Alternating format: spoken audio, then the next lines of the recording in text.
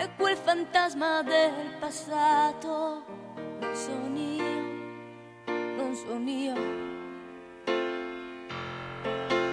Io volevo scordare quegli errori fatti, perdonati mai al mondo la sua indifferenza. E solo con la mia esperienza sono cresciuta.